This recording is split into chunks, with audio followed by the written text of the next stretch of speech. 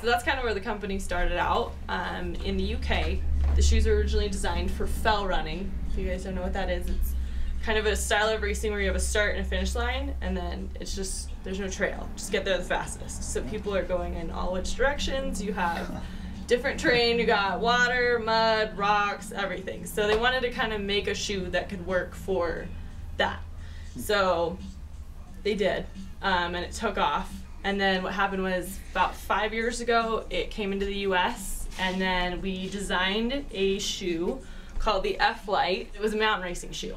So the goal of that shoe was just to be something super light, grippy on the on the rocks. Could wear it on the trails, um, and CrossFitters started wearing it. So that's kind of what started our fitness side. Um, so the reason CrossFitters really like our F-Lites is because they're super low to the ground. When it comes to CrossFit, you're dealing with a lot of weight. Um, you do not want soft cushion that's a bad thing to have because you're going to teeter um, in all of that cushioning and it, it, gives you less control on the ground. Um, we have some crazy grip on the bottom here, so that will help with any type of side to side movements, anything where you just really need to have contact with the ground, it works out really well. Um, one new feature that all of our F-Lites have now is the Rope-Tec feature. Um, so you can kind of see it here. Um, what this does, before it just had the um, just typical foam on the bottom there. And what happens is when you're doing a rope climb, um, you're gonna target the rope in between your feet. And so this actually becomes kind of a break on the way down. This is really important to have. Um, otherwise you will chew a hole in your shoe, which people have done.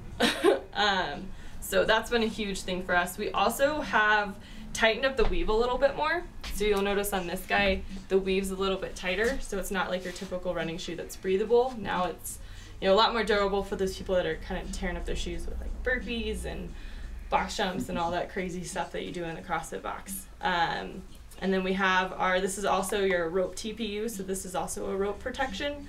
Um, but the cool feature about this is it kind of allows the shoe to feel more um, like attached to your foot. So a lot of people feel like the shoe is just like basically part of your foot um, which kind of comes into one of the philosophies of Inov-8, which is we want your foot to do the work, not the shoe to do the work for your foot. So a lot of people will notice it's just super flexible.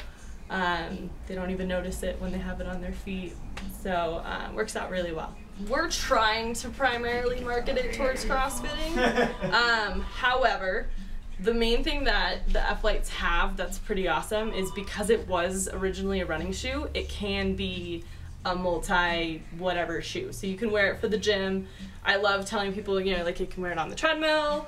Um, one reason this is a great option for the gym is because most people wear their running shoes to the gym and they completely destroy them because they try to do all these crazy lateral movements and it just rips apart their shoes. Mm-hmm. Um, so with these guys, they're designed for those types of dynamic movements and they're going to actually allow them to have more efficient form at the gym. So you can kind of explain to them that the shoes actually will help them you know, perform their squats, their lunges, and all that stuff a little bit better.